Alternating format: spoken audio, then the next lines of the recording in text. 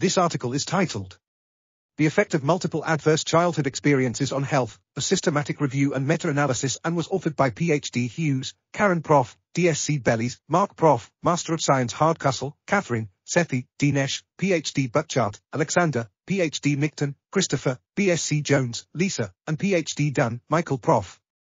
ACEs frequently co-occur and no synthesis of findings from studies measuring the effect of multiple ACE types has been done. We selected articles that presented risk estimates for individuals with at least four ACEs compared with those with none for outcomes with sufficient data for meta-analysis, at least four populations. Individuals with at least four ACEs were at increased risk of all health outcomes compared with individuals with no ACEs.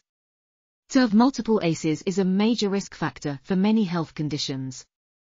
The outcomes most strongly associated with multiple ACEs represent ACE risks for the next generation, for example, violence, mental illness, and substance use.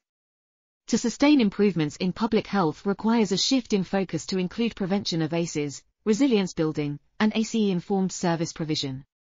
The Sustainable Development Goals provide a global platform to reduce ACEs and their life course effect on health. We are RTCL.TV.